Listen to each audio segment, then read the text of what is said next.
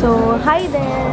Uh, it's Levi again. Welcome to my vlog. So, for today's vlog, uh, we're here in Okada, Manila and celebrating our Ninang's birthday today. And uh, specifically here in Coral Wings sa Medley.